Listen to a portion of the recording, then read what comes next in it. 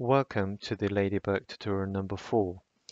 You will need to refer to part 1 for setting up the Ladybug, but in this fourth tutorial, we'll learn how to use view-related analysis functions to evaluate the visibility, such as view rose, corner view, and view analysis. So okay, this is where we left our last tutorial. So I'm going to pan it to the left and change the win to visibility and give it the visibility analysis title. I'm going to come back to where we were on the right. Um, I'm going to grab tower in the context, move it to the right. And I go to number three. There you can find three analysis tools that we're going to use today. So first of all, grab the view rose, drop that into the space, connect the context to the context, XY plane. Because the view rose uh, uses the, um, the area visible from the given viewpoint across the 2D plane of vision, you will need to create that 2D plane. So I'm going to grab the, uh, the center point of the tower and generate the XY plane and give the radius, um, you know, the size from 0 to the Y size. Um, and in this case, I'm just going to make the radius as big as the, the whole context or slightly bigger. 195 meters. I'm going to drop series of points in there to demonstrate the other you know components. As you can see, the shaded parts are the visible corridor and the others are non-visible part of the corridor. I'm going to drop three points before I generate the next component. I'm going to move the last one into the unshaded bit so that you can clearly see where that lands you know also to give the contrast between those points. I'm gonna grab that cone of vision and leave the type as zero as a human and there are a number of different types and you can change that to camera with the different type of you know the panorama views and etc for the time being I'm going to leave it as a zero which is the human vision. I'm going to grab these three points and then going to connect to viewpoint. And now we have to set the view direction. So to set the view direction, you need to create the vector points. So I'm going to grab the vector to point. So we know the starting point, so there are the three points. And the center point will be the tower. So grab the B to the center point. And here we get the vector that gets to the view direction. So now you see the, uh, the cone of view has been generated. And this represents the side of the um, side of the person or the vision of the camera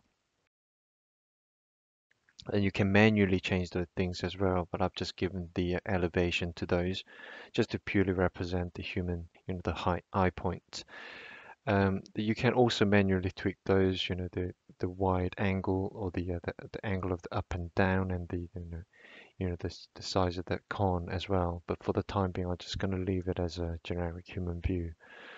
So I'm going to move to the third one, which is the crumb of the crop. Uh, I'm going to grab that view analysis and set that geometry to the tower. Context to the context, it goes exactly same as the rest of the component that we used in the previous tutorial. I'm going to grab those two uh, sliders over here. I'm going to set the size of the grid as a 5 meters, 1.1, 0.0, uh, sorry, 0.1 for the, uh, the distance from the base, uh, which it gets close to the tower surface, the type of the points. Uh, so these are the um, where you set the points, uh, you know, to to evaluate uh, the visibility and grab the human, you know, the points to the viewpoints.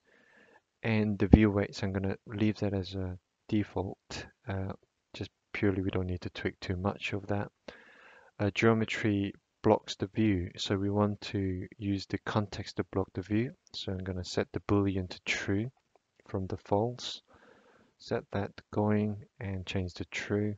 I'm going to use the generic legend bar and going to copy the boolean toggle to connect to parallel to run the process in parallel and to run it immediately you will see the maps been the color maps been generated onto the tower surface 100 being very visible, 0 being not visible at all. So the top surface there, as you can see, it's been colored as a red.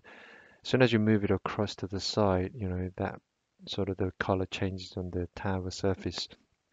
And as soon as you turn it back into visible corridor, that surface uh, turn into green again and you can slide up and down see how that changes and react to those points it's very um you know it's a real-time analysis so the backside of it as you can see is dominantly red because none of those points are able to see that backside of the tower as soon as you move it across that backside turns immediately to green and the top part of that tip of the you know the tower it stays as a blue throughout the whole time.